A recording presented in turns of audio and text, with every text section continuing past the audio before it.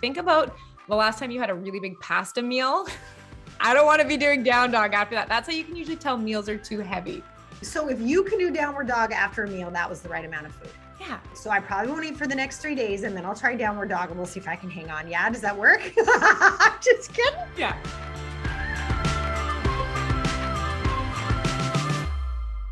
Hey guys, welcome to episode number 93 of the Game On Girlfriend podcast. I'm so happy you're here. You are going to love today's podcast episode. And if your eyes just wandered over there and wondered what that is, that's my cat. Yeah, uh, we just left him there during the interview. We hope you enjoy him. He's wonderful. Anywho, I'm really excited about today's episode because it touches on something that's really important to me as an entrepreneur and as a coach is your health, right? Because I don't know how your business can be successful if you don't understand that your health is your number one asset. And today's guest, Tanessa Shears, really helps us understand that. Tanessa Shears is a health consultant, and she is also the host of the Becoming Limitless podcast.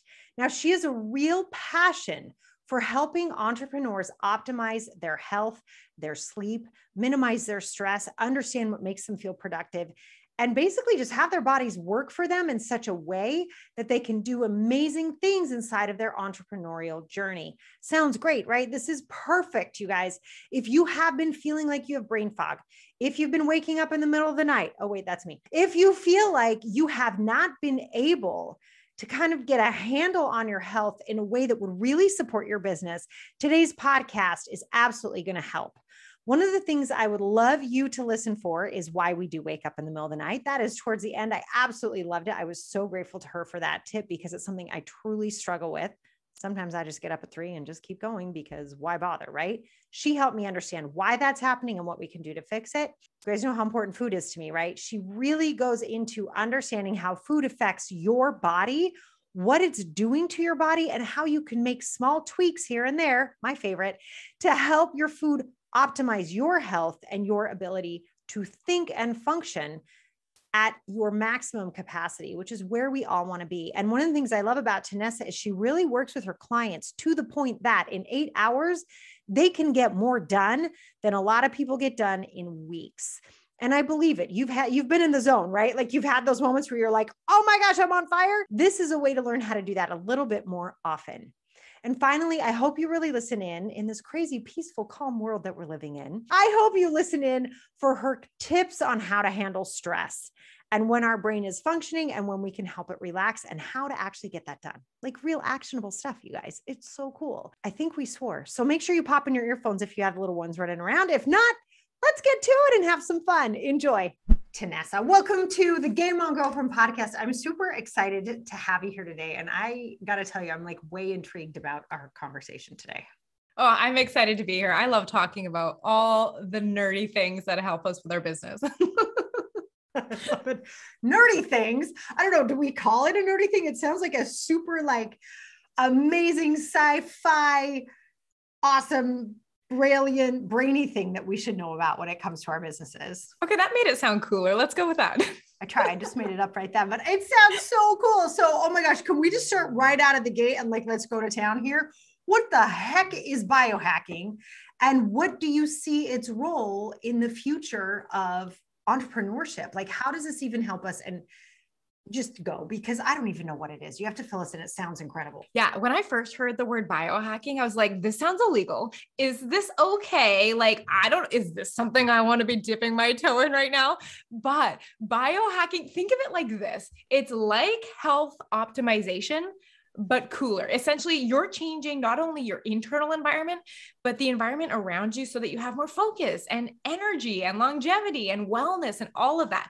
But the way I like to do biohacking is I like to do it by always looking at my return on investment. And that's something as entrepreneurs we understand oh. is return on investment. We don't have a ton of time to be putting into all these little things that we could be doing and should be doing. I want to know what's going to get me the most bang for my buck. So with biohacking specifically, if I'm looking at like if I make this specific change to my sleep, how is my brain performing tomorrow? If I make this specific change to my bedroom, is this making me more creative because I'm getting a better sleep? Like I'm hmm. always looking for that return. And when we talk about the future of entrepreneurship, it's because at the end of the day, once we all have similar skills like we're we're copywriters we you know create things we make content whatever that is once we have that what comes down to it is that competitive edge you can get is by how amazing your brain can perform. Mm. So if my brain is operating at 90% of peak capacity, I am focused. I can get more done in my day than some people can get done in a couple of days. Yeah. If I can do that, that is my competitive edge because I can be more creative.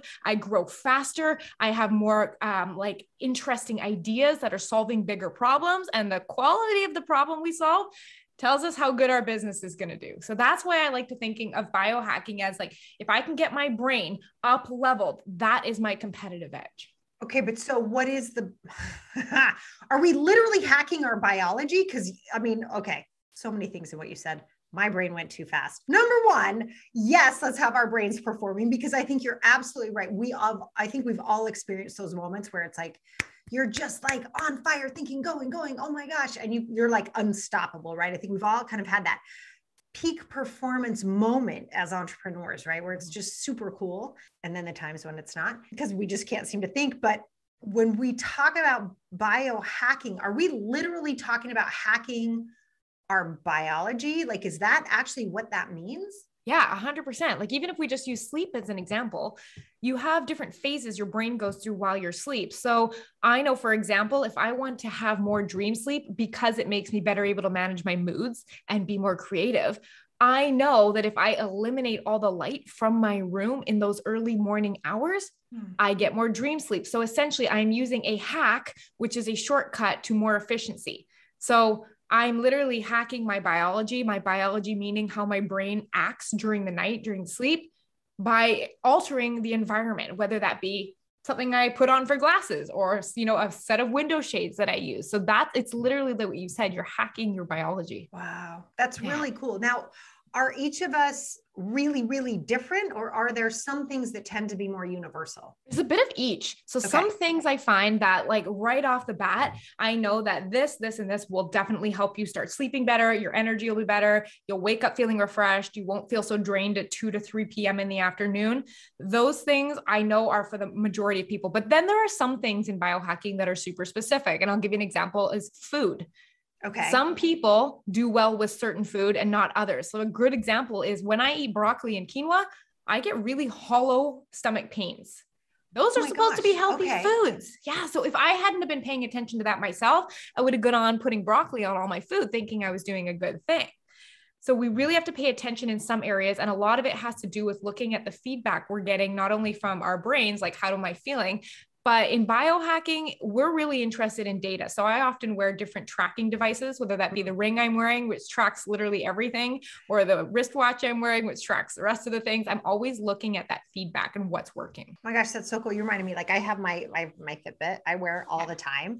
And I literally was just having a conversation this morning. I was like, oh my gosh, look, I got like zero REM last night. No wonder I'm spacey. And there's so much of that. Sometimes when I get the data back, I'm not sure what to do with it or how to like course correct. So I think it's really cool that you just shared the idea of dreaming is really watching that early morning light. Mm. That's so cool because that makes me feel like, I don't know, tell me if I'm crazy, Tanessa, but if you ever notice on the weekends, like if you get up and you have like a cup of coffee or you have a breakfast and you take another nap, I know all of us with small children, it's been a long time, but you would take a small nap and have like the craziest dreams. Am I crazy or does that happen? Yeah, I think it just depends too on how deep of a sleep and how fast you enter the different phases of sleep because what you experience is a sleep cycle. And normally our brains go through deep sleep and then into dream sleep. Mm. And then normally, because our naps are shorter, we wake up in the middle of those dreams. And when we wake up in the middle of our dreams, that's when our brain is like, holy, I just remember everything that was going on. Okay, thanks for that. You totally just cleared up the weekend crazy dream thing for me because I was like, what is that? Oh my gosh. Okay, so tracking, understanding the data that's coming back, but also just listening, right? So for you, like broccoli, I like how you describe that. You said like a hollow feeling. Oh yeah, it was like it was like I was starving that hollow feeling, and I was oh, like. I just ate. What is going on? This isn't normal. That's so interesting. Okay, now I'm going to pay attention to that for the next couple weeks. I want to see like what like what makes me feel that way. That's so cool. All right, so let's talk a little bit now about brain fog because mm. I know this is a real thing, and I'm sure you read this book too. But there was a book I read a while ago called Wheat Belly mm-hmm. um, about the power of gluten, like how it's one of the few substances aside from heroin that can permeate certain membranes in our brain. And um, the author was talking about how if he would eat bread, he he just immediately, like 15 minutes after eating bread, he could feel the brain fog set in. And I thought that was really interesting. I haven't personally experienced that, but I know other people have as well. What is brain fog and like how does it affect us? Like, why does it make us feel so crappy? Yeah. Well, and it's interesting because brain fog's not one of those things that you can walk into your doctor's office and they'll be like, oh yeah, that's brain fog because it's right. more like it's so true. Yeah, it's it's more like a collection of symptoms. So if you're thinking things mm. Oh, a good one is like if I sit down and I'm gonna go write an email and all of a sudden I'm like, who am I writing this email to? Those little facts that you should know slip your mind.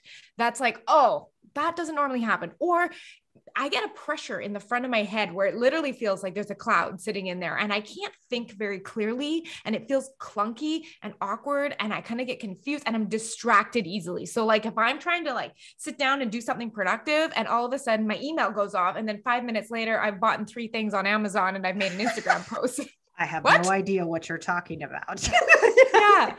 It's just it's just that yeah. That's totally. Absolutely. It's just that inability to really stay focused with it. So that's what brain fog is. But when we're looking at what the heck causes it, we're looking at where is inflammation in our body. So we've all heard of the word inflammation, probably more so related to like if you sprained your ankle. Like we mm. know red, swollen, heat, all signs of inflammation, but that actually happens inside other places in our body. And like you said, in our gut. Like you read that book, Wheat Belly. Some people have sensitivities to gluten, and mm. some people have uh, sensitive sensitivities to other foods. And, and it comes in a bunch of different spectrums. Like some people have a mild reaction, and some people have a major reaction.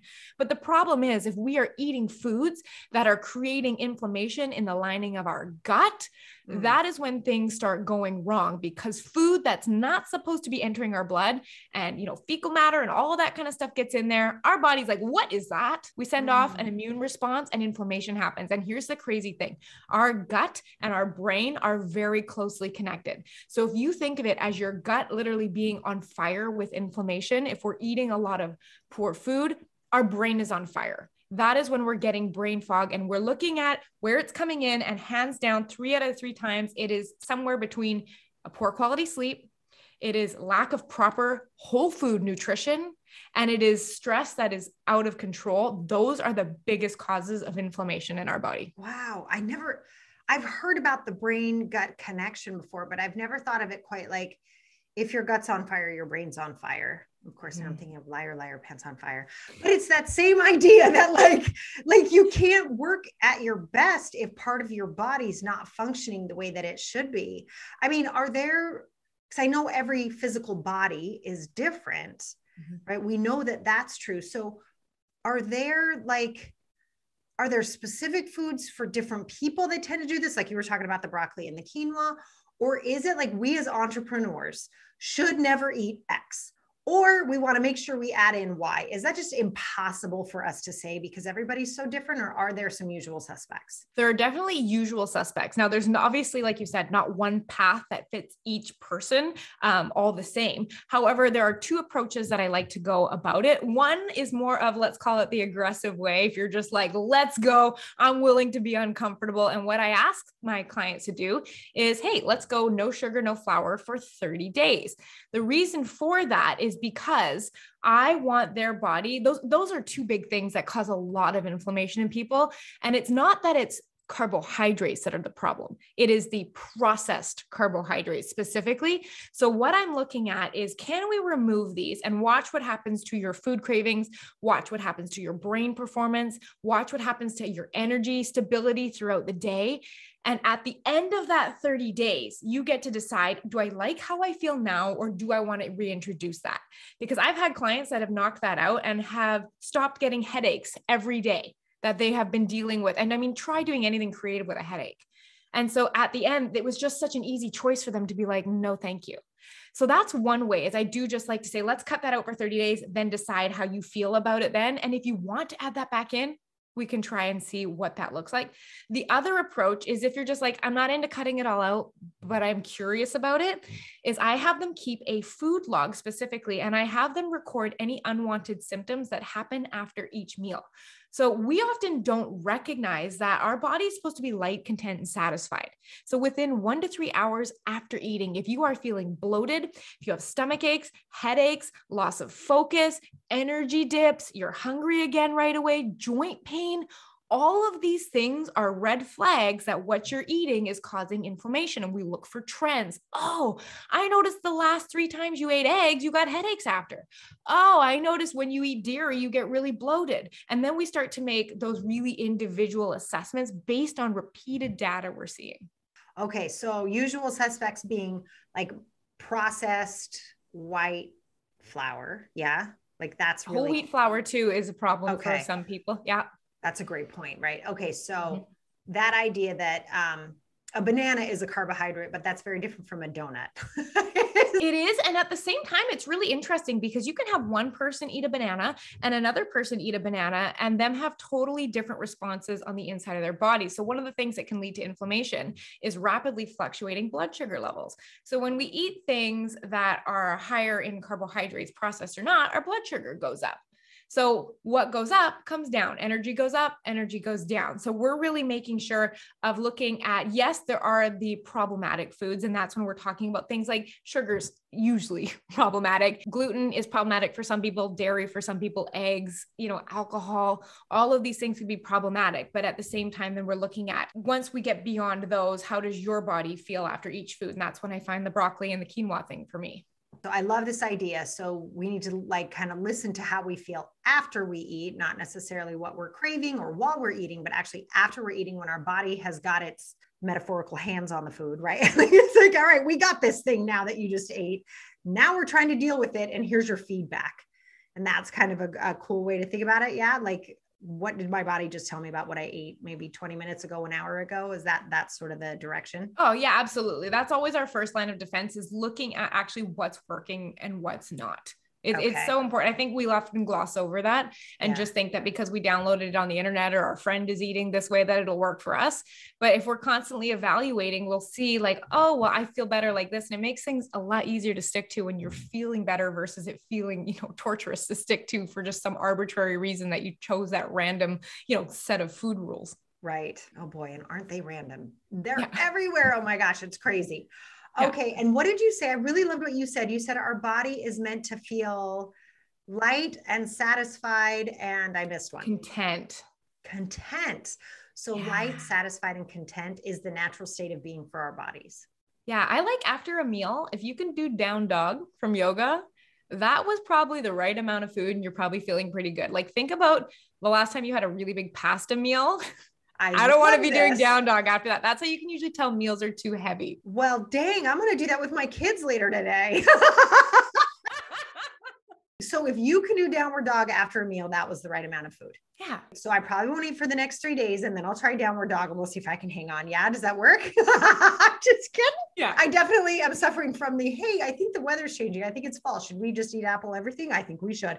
Right. So it's so funny. That's why I'm cracking that joke because I feel like there are cycles. I don't know about you, but I feel like there are cycles I definitely go through where I'm really wanting the heavier, like you said, the more sugar, the more processed, like ooey gooey comfort foods. And other times I have zero desire and I'm like happy to eat salads all day long. Do our bodies go through cycles like that as well?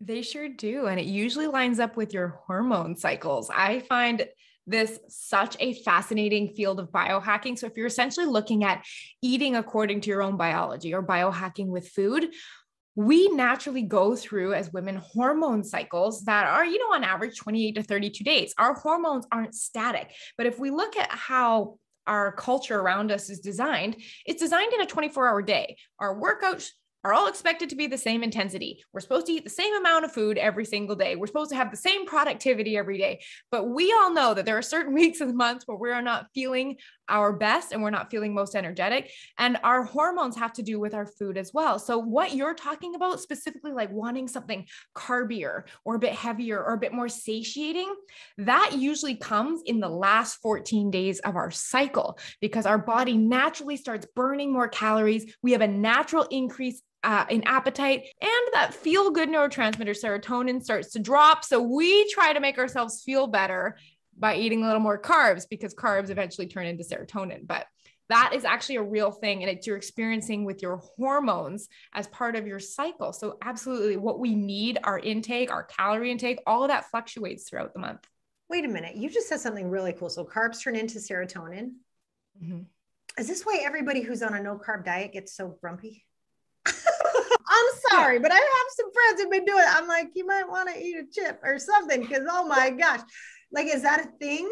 Or yeah, carbohydrates yeah. can be a precursor so it, it's it's in the front of the chain of actions that happens to create serotonin right that's why we naturally crave those carby foods but in terms of the mood swings that happen to do with a very low carbohydrate diet usually is just that adjustment from our body switching fuel sources because I think there's a, a, guy named Dr. Jason Fung, and he gave this beautiful analogy. If we always eat very high carb diets, it's like going into your refrigerator, opening it, and getting your food out of there meaning it's easy to access. It doesn't take a lot of work. You just walk over, take it out, put it in your mouth, right? But when we reduce the amount of easily available fuel in the blood, and I'm talking about those, those easy processed style carbohydrates, are and that's kind of the equivalent of like that fridge being empty. And now we've got to go in the freezer. And it's a little more work, and you got to take the food out, you got to thaw it, and then you got to cook it. And it's a lot more work. But that's what happens when our body starts accessing fat for fuel instead of sugar. It's harder to access. It's quite the metabolic process to go through. However, when we don't know, when we no longer rely on that short term carbohydrates, then we can start accessing that. So, what you're likely experiencing when you're talking about people going through those mood swings is them, their body switching fuel sources, and in the mm-hmm. meantime, experiencing that drop in serotonin. Okay. No, this makes a lot of sense to me now. I think there's a couple people I'm going to call when you and I are finished with this podcast because holy cannoli, I think you just blew my mind a little bit. That was amazing. Oh, wow. Fun. So here we are. It's so great that we're having this conversation because not long ago, and it happens often, but there was one moment with one of my clients really recently where I was like, okay, we need to talk about this. Like, this is so serious that she was suffering from really bad headaches. Like she, it was knocking her off her game. Like she just couldn't get it under control. And she met with um, a health coach who said, really, you got to pull out the sugar and and the flour, the processed flours. Let's see what happens. And immediately the headache stopped. She was so much more productive. And she said to me, literally during our call, she said, I have come to understand that my health is my number one asset in my business. And I was like, thank God, because I really believe that. And so I love that we're talking about this. I'm so grateful you're bringing your expertise to all the girlfriends out there listening because you guys, your health is your number one asset in your business. All right. So now that I've pounded that in with you, Tanessa, with all of your brilliant knowledge, I wanted to know what are some of the biohacks we can really sort of implement like actionable things that we can implement. Specifically i think sleep is a big one and stress is another one. What can we do? What kind of hacks do you have for us that we can actually go out there and start using? Yeah so let's talk about stress first because you know, it's funny. I talk to a lot of entrepreneurs, and while they're like, I'm not stressed, I'm fine. But does this sound like you? And if it does, you're probably feeling a little more stressed. So you get done at the end of your day and you didn't get done everything. So you're just like, oh, it's, it's fine. I, ha- I have to, my family's home. I have to turn off the computer. And you kind of go and you're making dinner and you're thinking about all the stuff you have to do or stuff you didn't get done. Then you finish making dinner and you collapse onto the couch to watch Netflix, but you're really not focused because you're also scrolling on Instagram. And then you get this panic thought that what if I'm missing something at work? Work, quick pop onto Gmail, but I won't answer that because I'm not working. And then you're thinking about the email. Like we all do this. So mm-hmm. even though you may not think you're stressed, if your body is always thinking that it's at work, yeah, your nervous system is going to be out of balance. And stress is hands down one of the biggest killers of energy. Meaning, if you are finding that you are extremely drained, dropping off around 2 p.m., or waking up tired, we need to look at your stress. So, one of the things I love to talk about with my clients is not what activities they are doing to unwind, because like we all love the idea of a bubble bath, but I'm a mom of an under two right now. Bubble baths are not happening right now. So we have to be a little more practical. So I like to teach this concept um, about called a cognitive load detox. So our brain gets loaded during the day, right? We get input from either the light on our screens, we're having a conversation, you're listening to this type of content right now. Think about the load. We actually need to take time to take the load off of our brain so that it can perform properly the next day. So, how we do that is by understanding how our brain works. So, right now, while you're listening to this uh, podcast or we're having this conversation right now, your brain is in a state called beta. Your brain waves are going at a certain frequency. And we know that this is happening because you're probably alert, you're focused, you're thinking about what I'm saying. Maybe you have some questions and, oh, I wonder about this. I wonder if I could do that. And your brain is doing this. This is called beta. We love being in beta brainwave state especially in our business. This is what makes us very productive. However, we need to be able to turn off and not just say, I'm turning off, actually turn off. And that does not have to do with the activity, it has to actually do with the frequency of your brain waves. So I love the concept of shifting from beta and spending time in alpha. Now, alpha is a bit of a slower brainwave frequency and we are relaxed. There is looser focus. So think about kind of like if you were relaxing on the couch, for me, it'd be watching Modern Family. I've seen it before. So I know what's going on. I don't have to pay too much attention. It's a loose, I'm not distracted by what's going on. I'm focusing, I'm present, I'm just hanging out. Now, where we get confused is thinking that there are certain things that are relaxing and certain things that aren't. So here's a good example. Think of um, reading a book, but you have a business book in your hand, mm. and you have out your two highlighters and your pen and your sticky notes, and you you got a notepad open on your phone, and you're like, this could be good content. People need to know this. I I have to. Oh my gosh, that mm-hmm. feeling in your brain while you're reading is not relaxing. So right. reading a business book before bed not going to do the trick. Now, what I'd like to offer as an alternative is something lighter for reading. Yeah. So think about like a, a fluffy romance book Yay. or just a light fiction book. Or I had a client, she's like, I'm reading gardening books. So I was like, excellent. That sounds light and fluffy. So it's not about the activity that you do, because you can see reading can be both, but mm. it's how you feel during it. So if during your downtime, you are not leaving feeling recharged, refreshed, and well rested, you are likely not spending time in alpha. And that is how you can tell the difference. And if you're not spending any time there, it's going to manifest as anxiety, overwhelm, tension, and feeling, you know, that you're moving towards burnout. So, how much time do we need to spend in that sort of like relaxed, happy, right? It sounds like too. I love when you said modern family. I immediately thought Ted Lasso. Like that, say like the happy stuff, like it's easy, it relaxes you. How long do we need to stay in that state in order to really pr- like give our our brains the relaxation it needs to be able to be great the next day yeah you know what i love starting with something doable because. I mean, ideally, yeah, we don't like to have evenings off, right? But it depends how many people live in your household and how much work you have to do that night. So, one of the ways I really like to start, I will just, okay, I've got another call coming up. Where am I feeling my tension right now? How am I feeling? Breathe just take a moment to check in. And so I like to start there because once you can take your brain out of being a human doing and productive and schedules and client calls and emails, and you could take a moment just to be a human being again, you really get to just take a moment to just, okay, slow down. I need to slow down right now. So that's where I like to start. But beyond that, I like to put in little 15 minute increments. Like we all have that 15 minutes before bed where you're taking your makeup off, changing your pajamas, um, brushing your teeth. That is such a great time to just allow your brain to stop thinking about work. And I do that by setting up very protective boundaries with myself. I'm very firm. I even will say to myself, we're not thinking about work right now. Ah, I'm not going to go on my computer so thinking about it is not helping. I need some time off. And so spending that time instead of brushing my teeth, thinking like, if I only can get through three more things tomorrow, then I blah, blah, blah, blah, blah. No, I'm just brushing my teeth and I'm keeping my brain where I am. I'm feeling my toothbrush in my hand, spending those moments feeling, feeling present mm. and mindful. And I think it's not about how much, it's about is there contrast and what is that balance? Because my balance of doing and being is different than yours. I find I thrive on doing a lot of doing with a with a moderate amount of being. Some people need to be a lot more, especially at the beginning. But I find it's finding that sweet spot balance. Yeah. No, for sure. I think that's right. So, does are you a big fan of meditation too then? I don't meditate. I'm like the black sheep in the biohacking world. I really am. But you know what? I get the most luxurious, high quality sleeps. Like I'm regularly scoring 95 and up on my sleep scores.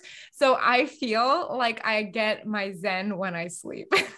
I love it. I love it. Okay. So that's where you do that. But for people who do meditate, it is like that contrast, totally. right? It's really about yes. pulling in those moments of like, um, your brain's off. Like I love when you said, I want to feel my toothbrush. I'm just doing what I'm doing.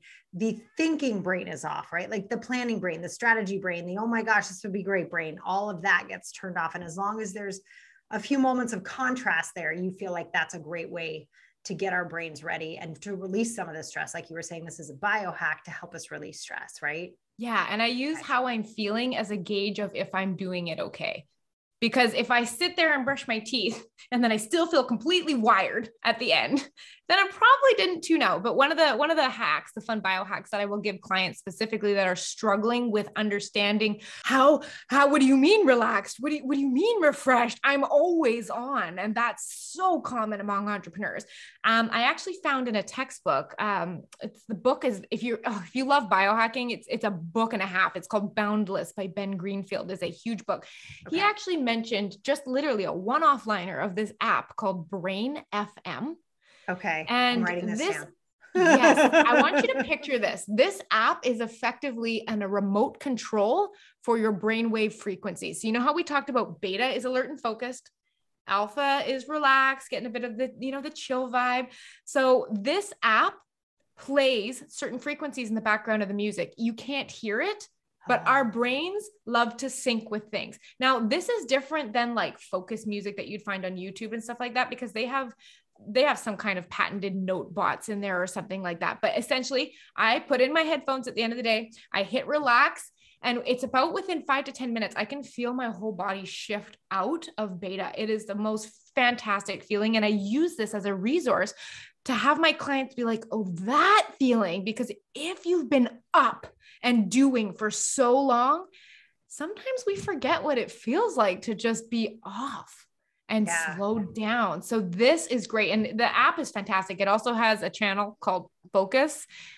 And my goodness, it literally that if I need to sit down and write like a six letter news uh, newsletter sequence, that is what I put on. I'll bang it out in like an hour and a half, two hours. And I feel like flames fire out of my brain. You've never felt more productive than when that's on because that's because it entices your brain into beta. So this app is great for all kinds of uh, brainwaves on demand. That is so cool. That's really cool. What was the name of the app again? Brain FM. All right, you guys, you heard it here. Brain FM. Go get it. That sounds incredible. Now, is that the hack that you really want us to start using when it comes time to sleep and really help us sleep? What about people who, this is me. Hi, I'm asking for a friend. When um, I fall asleep super easy, but I wake up almost every single day at two or three. And sometimes, not all the time, but sometimes I literally can't go back to sleep. Do we have anything wonderful for that? Oh, yes. You're talking to the right crowd here. I have that exact same struggle sometimes.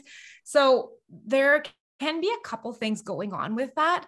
One is that your body does not feel safe in that your brain does not fully turn off. So I know when I wake up at those times, I'm usually like, like I wake up with a bit of like a faster heartbeat and I'm awake and my brain is very on. And one of the tricks that I like to use in those moments is really reminding myself, like, Tanessa, your body is safe right now. This reaction doesn't make sense. The fact that we can't fall asleep right now is not a is not a natural thing. We're in the middle of the night. My business is safe. I'm safe. Everything is okay we can breathe. And I often find that we need to decondition that middle of the night wake up with being wide awake and alert. And usually it's because our body is fully charged because our brains weren't fully relaxed. So that's number one, as I like to do. The second thing, which I find is kind of interesting, I was reading an article and it referenced the idea of us running out of melatonin too early in the night. So melatonin's kind of like a buzz-ish word kind of in the health industry right now. Melatonin is a hormone that we naturally have and you can also take it as a supplement. But how melatonin works is when our eyes start perceiving the daylight decreasing. So think about standing outside on a summer night and it's blue sky and then all of a sudden it's, you know, a little pink and then it goes orange and then it goes red and then it gets dark. That decrease in light signals our brain, oh, we need to sleep soon. We should probably start ramping up some melatonin, right? And we get that luxury luxurious amount of melatonin so that it can help us fall asleep and stay asleep. Now, here's the problem we spend all this time before bed staring into our devices, our phones, our TVs, our computers. There is a type of light emitted from our screens called blue light. And our brains think it is the middle of the day. So we turn off these devices and try to go to bed. But our brain is like, hold on, we haven't had time to make melatonin yet. Like, where I thought, where's my sunset? So we turn off these things and then our brains either fall asleep and then wake up later on because we didn't get enough time to produce enough melatonin, or we lay there having trouble falling asleep, which is a lot of people as well. So, one of the hacks that I love to use is I have invested in a pair of blue light blocking glasses, but not the ones that 95% of us own. These glasses have red lenses on them. And what they do is the light that enters our eyes is red because it's coming through a red lens and it simulates sunset. Oh my so, gosh, how cool. Yeah. So I put these on about 90 minutes to an hour before bed. And I then make sure overhead lighting is off because our brain is sensitive to thinking overhead lighting is day. I'll put okay. on some lower lamps. I'll put these red glasses on, and you can literally feel your body start to get drowsy. And it That's is amazing. literally. Wait, where do we get these amazing red lensed glasses? Yeah. So honestly, there's a whole bunch of companies. I get mine from TrueDark. Okay. There, I have a there, there's a really uh, it'll make you look like you're on Mars kind of pair on there that are a full wraparound. Like if you want a hundred percent light blockage. Um, I have a pair called, I think they're called the Twilight Sunsets, okay. and they're red at the top and they go to yellow because I like to read before bed and it's a little hard to read through the intense red. So it gives, when I look down at my book, I can still see it. But literally, after I put these on, I can feel my body dropping into relaxation. And that is melatonin telling us, hey, body, sunset happened. Let's Sleep go. should come soon. And by the time I'm ready to go to bed, my melatonin is game on. Oh my gosh, this is like the best tip ever. I'm so I'm totally getting these like right now. Like as soon as we're done with recording this podcast, I am running and getting myself some of these. I can't wait to report back to you too and let you know how this works because I have a feeling it's going to be pretty amazing. Oh my gosh, yeah. this has been amazing. I'm so grateful for you for coming and my cat just shook his um, neck. Thanks, bud. Anyway, as I was saying, I'm so grateful to have you here. I am really sure that our audience in listening to this, you guys, you've got to pay attention to your body. I love, I'm just going to kind of recap a little bit. My favorite parts are really listening to what your body says about an hour after you're done eating. Make sure you can do downward dog. I'll try that next week. And um, and then also this idea that we can release the stress by putting our brains in alpha, making ourselves happy. And then this idea, I'm getting red lens glasses like right this very second. I'm so excited. So, Tanessa, as this has been so cool, can you share with us? I believe you have a free gift for our audience. Can you share that with us? Yeah. So if you're like, okay, I, you know what? I'm, I'm tired of feeling tired, ready to start feeling energized. What I've done is I've actually seen the 12 biohacks that I use with my clients that seem to move the needle the most for their energy. And I put it together in 12 ways to biohack your energy. So it's the best of the best. Like Brain FM is in there along with a whole bunch of other cool ones. So if you head to tanessashears.com slash energy. You can download that there and get started. You only really need to implement one or two to start seeing a change. And then as you get the hang of it, another one and another one. And before you know it, you have a supercomputer in your brain and you're just like, yes, this feels good. I feel energized. I love it.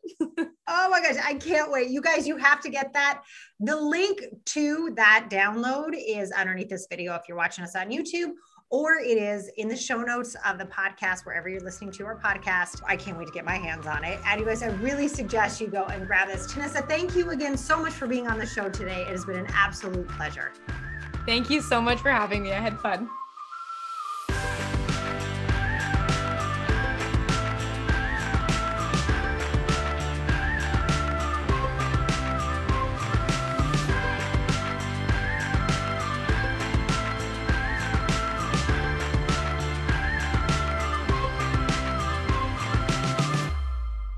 She's also the host of Beyond Fudge. Sorry.